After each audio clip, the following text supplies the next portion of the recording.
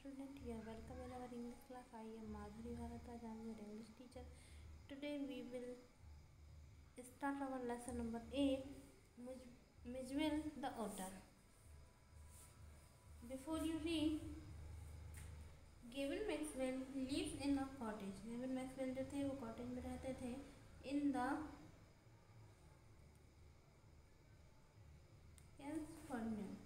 in the west Ireland and the Scotland Scotland में रहते थे। When his dog Jenny died जब उसका जो डॉग था जेनी उसकी डेथ हो गई थी Maxwell was too sad to think of the keeping a dog again तो जो मैक्सवेल थे, वो बहुत दुखी हो गए थे और उन्होंने इसके बारे में कभी नहीं सोचा कि उनको एक डॉग को फिर से पालना चाहिए। But the life without a pet was lonely परंतु बिना पैट के जो लाइफ है, वो बिल्कुल अकेली रहती है। मतलब कि हम अकेला फील करते हैं।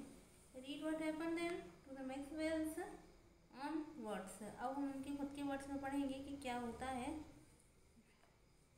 Owing a parent uh, owing a pet is a lifetime of the जो पेट वो एक प्रकार का लाइफ टाइम का कमिटमेंट कहलाता है। Up to the ten years or more than if you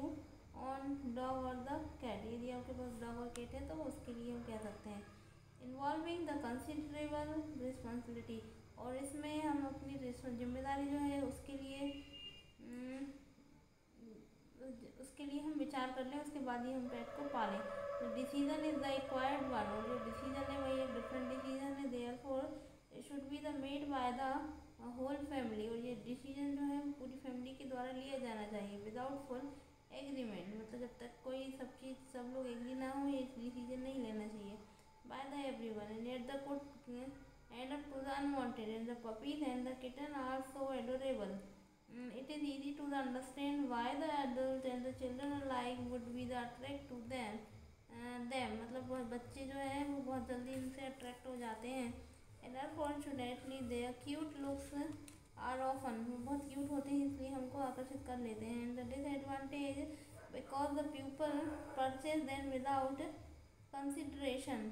क्योंकि बिना कंसिडर किए ही लोग परचेज कर लेते हैं, इसीलिए बाद में वो पछताते हैं।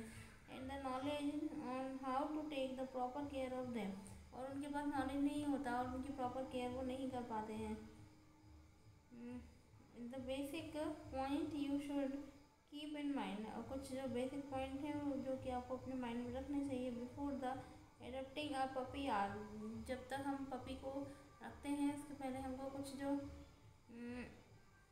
बातें हैं वो ध्यान में रखनी चाहिए। And annual dog license in the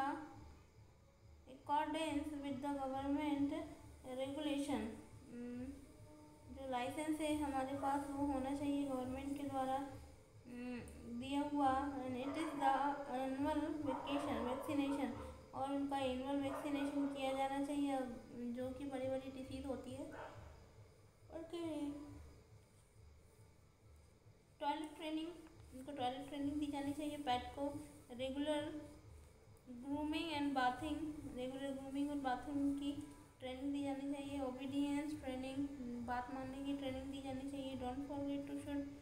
feed your pet a balance diet और उनकी बैलेंस डाइट भी रखनी चाहिए ताकि वो बीमारी बीमार नहीं पड़े the socialisation many dogs are keep the confidence in the cage कुछ लोग ऐसे हैं जिनको बाँध के रखा जाता है type to stop them are ratifying and the keep confidence in the cage